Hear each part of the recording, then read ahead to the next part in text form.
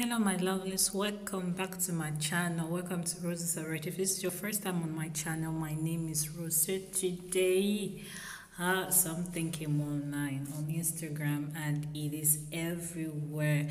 Um, this guy, his name is Opama Terry. Um, he was arrested by Regina Daniels um, husband. For those of you who do not know Regina Daniel, Regina Daniel is a Nigerian actress, so I'm just going to tell you guys what happened.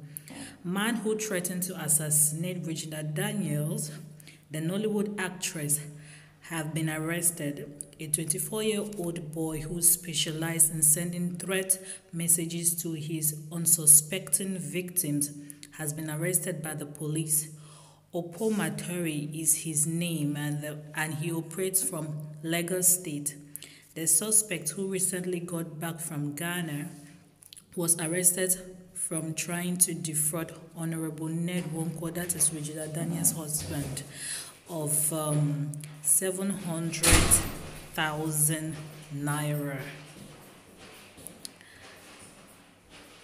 He's, he told Regina Daniel's husband that he is an assassin. He was contacted to, assass to assassinate Regina Daniels.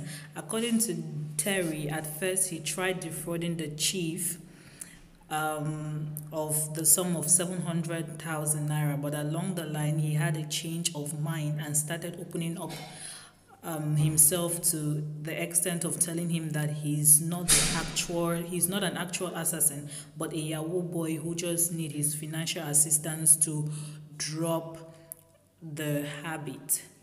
Chief Nwoko, while playing along, requested for his account details and made a transfer of 400,000 naira to him.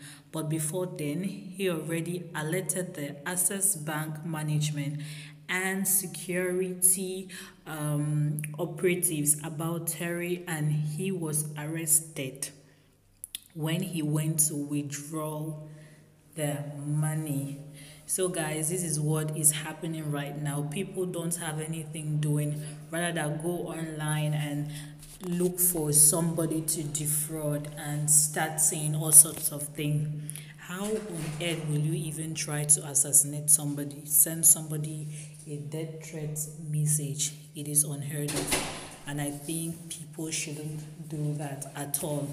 So guys, just listen to it and tell me what you think. If you if you want to know the regions, just go on IG. It is everywhere on Instagram. And I feel so bad because I mean they just recently got married and I think they really need to leave these couples to be themselves. They already had enough enough saga already.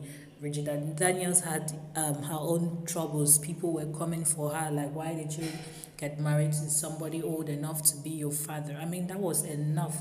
Then why this? Why would a young boy, a young Nigerian youth, I mean, be doing this like you sit behind your phone or your computer, your machine, whatever gadget you're using, and start sending death threats to people. And at the end of the day, you when you know the law gets you you said you're sorry and you expect people to forgive you. You expect your victims to forgive you not to take legal action. I think this should be a kind of a lesson to those who just sit behind your gadget and send rubbish type rubbish to people just because they feel they are anonymous and they think people will not get to them.